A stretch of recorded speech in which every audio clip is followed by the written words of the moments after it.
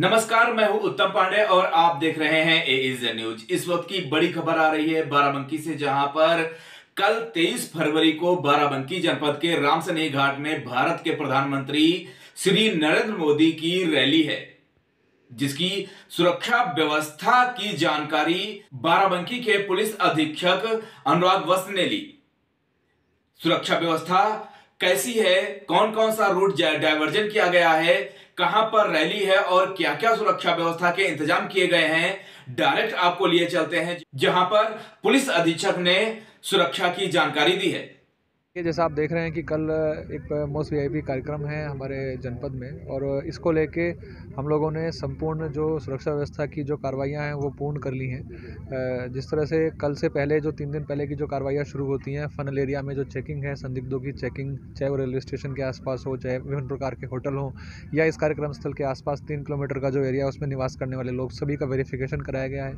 कार्यक्रम स्थल की जो सुरक्षा व्यवस्था है, उसको लेके आउटर कॉर्डन इनर कॉर्डन की हमने व्यवस्था दी है। हमने इसमें कई सारी क्यूआरटी टीम्स बनाई हैं जिनके प्रभारी हमारे एक एडिशनल एडिशनल एसपी रैंक के प्रभारी रहेंगे।